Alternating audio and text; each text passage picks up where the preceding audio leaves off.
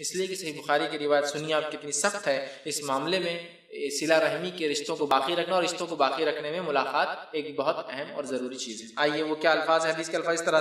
اللہ تعالیٰ مخلوقات کو جو ہے مخلوقات کو پیدا فرمایا۔ جب اللہ تعالیٰ نے انسانوں کو پیدا فرمایا، مخلوقات کو پیدا فرمایا اور جب وہ ان کی تخلیق سے فارغ ہوا، جب اس نے مخلوقات کو بنایا، انسان کو بنایا اور اللہ جب اس سے فارغ ہوا، تو رحم نے کہا، رحم، یوٹرس بچے دانی جس کو بولتی ماں کے پیٹ کا وہ حصہ جس میں بچہ پرورش پاتا ہے۔ اور وہ رحم سے سلا رحمی، رحم کے تعلقات کو جوڑے رکھنا، خطا رحمی، رحم کے رشتوں کو توڑنا اسی سے لفظ آتا ہے۔ ٹھیک؟ تو رحم نے اللہ سے کہا کہ تیری پناہ مانگنے والے کا یہ مقام ہے۔ رحم نے کہا، اللہ میں تیری پناہ مانگتا ہوں اور کیا تیری پناہ مانگنے والے کا یہ مقام ہے؟ اللہ تعالیٰ نے فرمایا ہاں کیا تم اس بات سے راضی نہیں؟ رحم سے اللہ نے جواب دیا، تم اس بات سے راضی نہیں ہو کہ جس نے تجھے ملایا، اس سے میں بھی ملا دوں گا۔ اور جس نے تجھے خطا کیا، توڑا، تو میں بھی اپنا رشتہ اس سے خطا کر لوں گا۔ رحم نے اللہ سے فریاد کی۔ ایک روایت میں رحم عرش کے نیچے لٹکتا ہے۔ ایک روایت میں الفاظ یہ بھی کہ رحم نے ایک مرتبہ اللہ کے پاس جا کے فریاد کی۔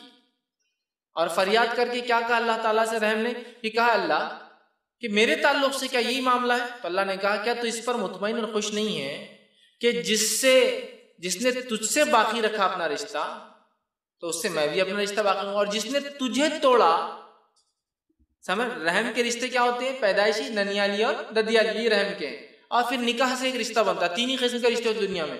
ایک پیدائش سے بنتا ہے ننیال اور ددیال پیدا ہو گئے، تو آٹومیٹیکلی یہ دادا ہے، یہ دادی، یہ پھوپھی ہے، یہ چاچا، یہ خالہ ہے۔ اور ایک رشتے بنتے ہیں، وہ ہوتے ہیں شادی سے۔ اور شادی سے جو رشتے بنتے ہیں، اس کو ان لاز بولتے ہیں، انگلش کے اندر، ہے نا؟ ٹھیک؟ مطلب سالہ وہ بھائی ہوتا ہے نا؟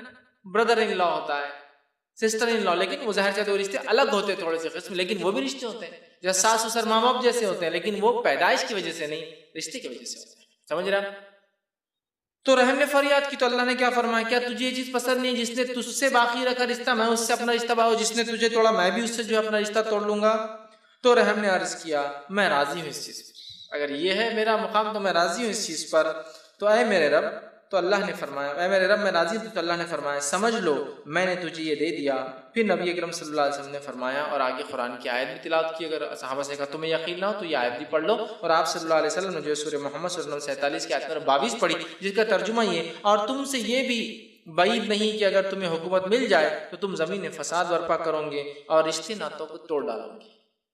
قوم کے تعلق سے کہا، بعید نہیں کہ جب تمہیں اللہ حکومت دے دنیا میں، تو کیا کیا کام کروں گے؟ تو زمین فساد، دوسرا کام رشتوں کو توڑ ڈالوں گے، ہے نا؟ تو رحم مطلب رشتوں کو جوڑے رکھنا ضروری ہے، تو یہ دوسرے حقدار ہیں ہماری زیادہ